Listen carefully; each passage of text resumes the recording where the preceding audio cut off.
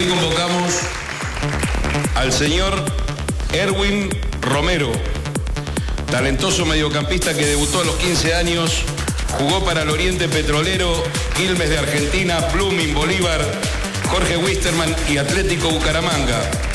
Erwin Chichi Romero vistió la casaca nacional de Bolivia en eliminatorias 1978, 82, 86 y 90 y fue protagonista de la Copa América 1979-1983.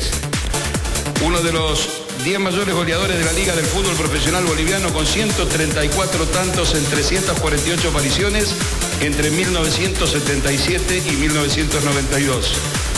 Tiene en su historial la clasificación histórica de estar entre los 20 mejores futbolistas de América del Sur.